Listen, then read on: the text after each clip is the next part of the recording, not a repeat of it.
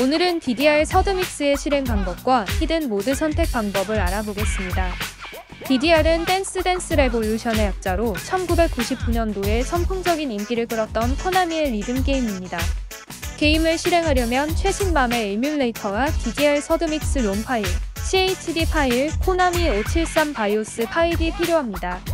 다운로드한 파일을 MAME의 roms 폴더로 옮겨주시고요.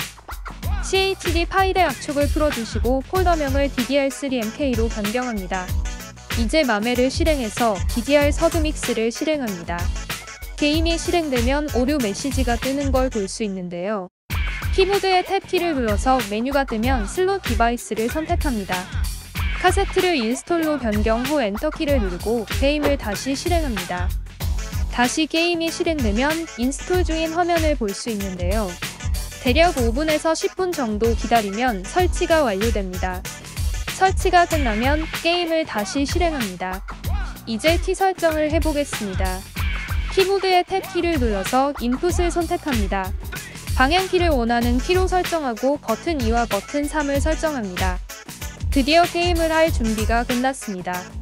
키보드의 5번 키를 누르면 코인이 들어가고 1번 키를 누르면 게임이 시작됩니다. 메뉴 조작은 버튼 2와 버튼 3으로 조작하고 1번 키로 선택합니다. 다음은 DDR 서드믹스의 히든 모드를 알아보겠습니다.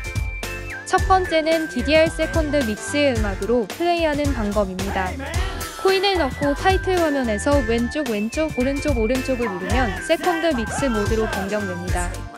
원래의 Third Mix 모드로 변경하고 싶으면 타이틀 화면에서 왼쪽 오른쪽 왼쪽을 누르면 됩니다.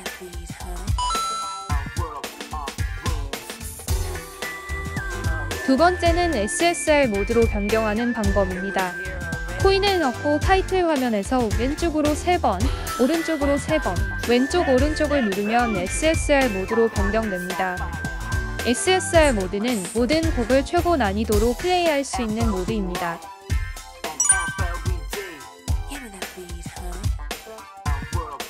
세 번째는 Second Mix 시절의 캐릭터로 선택하는 방법입니다.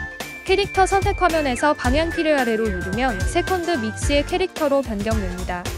다음은 곡 선택 화면에서 적용해 볼 수 있는 플레이 옵션입니다. 곡 선택 화면에서 위아래로 두 번 입력하면 hidden 모드로 변경됩니다. hidden 모드는 화살표가 올라오는 도중에 사라집니다.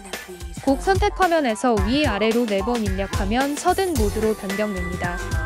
sudden 모드는 화살표가 안 보이다가 끝에서 나타납니다. 곡 선택 화면에서 위아래로 6번 입력하면 스텔스 모드로 변경됩니다. 스텔스 모드는 게임 중에 화살표가 보이지 않습니다. 곡 선택 화면에서 왼쪽으로 8번 누르면 left 모드로 변경됩니다. left 모드는 화살표가 왼쪽으로 90도 회전한 방향으로 등장합니다.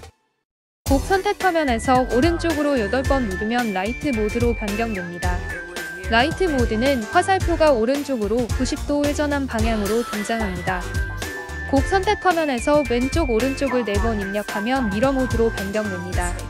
mirror 모드는 화살표가 180도 회전한 방향으로 등장합니다. 곡 선택 화면에서 위 아래 왼쪽 오른쪽 아래 위 오른쪽 왼쪽을 누르면 shuffle 모드로 변경됩니다. shuffle 모드는 화살표가 random으로 회전합니다. 곡 선택 화면에서 왼쪽 오른쪽 왼쪽 왼쪽 오른쪽 오른쪽 왼쪽 오른쪽을 누르면 vivid 모드로 변경됩니다. vivid 모드는 화살표의 색상이 다양하게 변합니다. 곡 선택 화면에서 왼쪽 왼쪽 왼쪽 오른쪽 오른쪽 오른쪽을 누르면 flat 모드로 변경됩니다. flat 모드는 화살표의 색상이 통일됩니다. 곡 선택 화면에서 왼쪽 아래, 오른쪽 아래, 왼쪽 아래, 오른쪽 아래 위를 누르면 little 모드로 변경됩니다. little 모드는 반박이 사라지고 화살표가 4분의 1 정도 줄어들어서 게임이 쉬워집니다.